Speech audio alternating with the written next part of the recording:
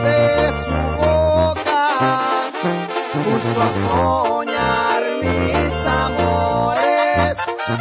El